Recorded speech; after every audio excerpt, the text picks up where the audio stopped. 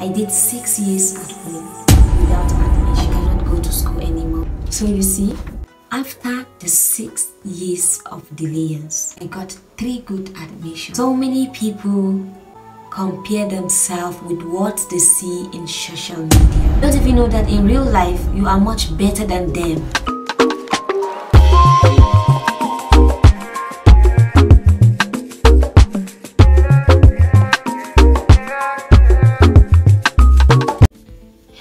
Everyone, how are you today? Today I am going to talk about self-love. When I say self-love, what do you understand by that? Self-love is showing more love to yourself. Listen, if you don't know how to value yourself, no one will value you. If you don't learn how to appreciate yourself, no one will do that. Yes, you had me right. It's high time you develop the mind of trying to impress yourself. Everyone is struggling. Many people are going through a lot. Look at the, the family issue. One thing I will tell you is don't live your life trying to impress everyone. Do what makes you happy. Do whatever makes you happy. Yes. And also, loving yourself doesn't mean you should hate everyone around you.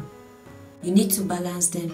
One thing I understand is the world we are living in now is really, really, really difficult. You see yourself not succeeding in life doesn't mean you are left behind. No, you are not left behind.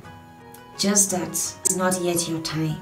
When it is your time, you will definitely get to your destination.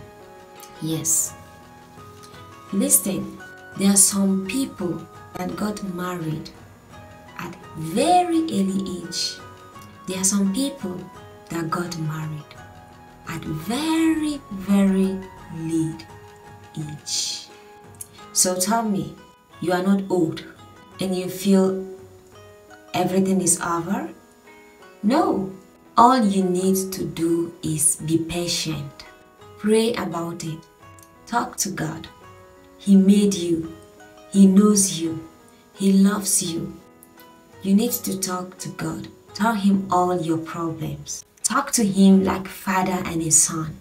One example I will tell you is about my life.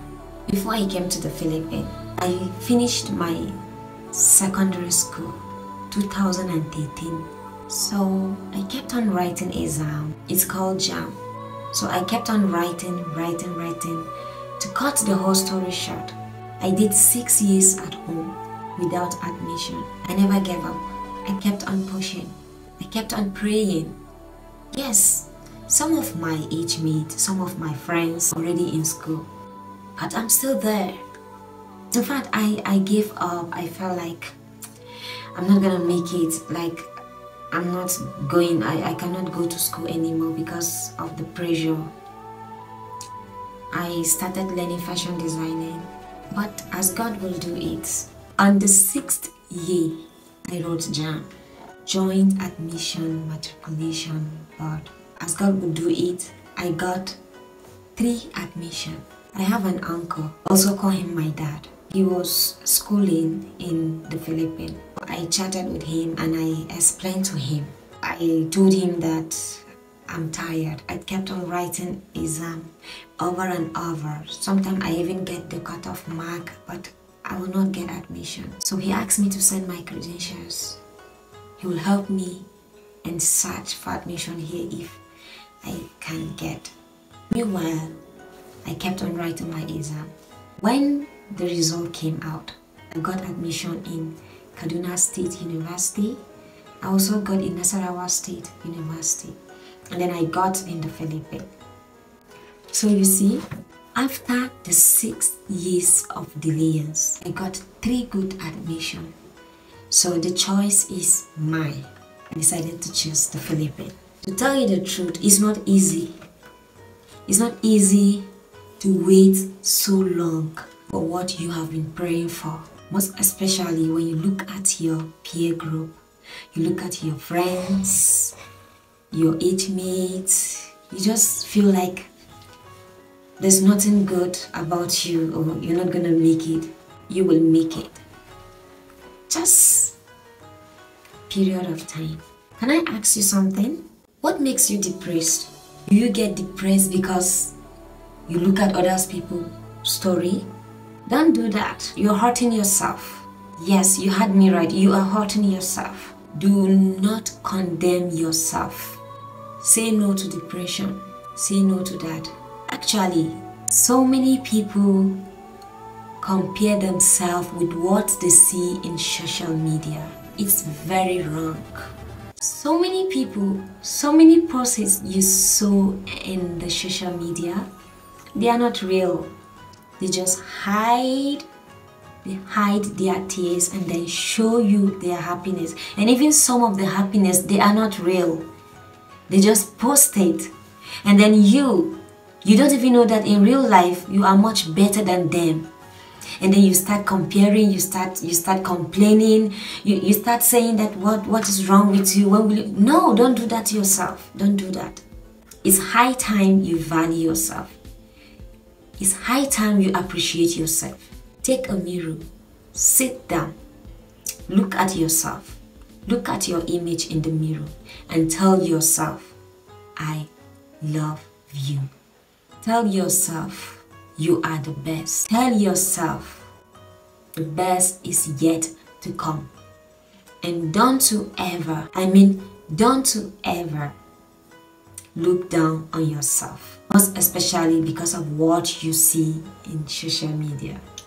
Social media. Friends, wake up.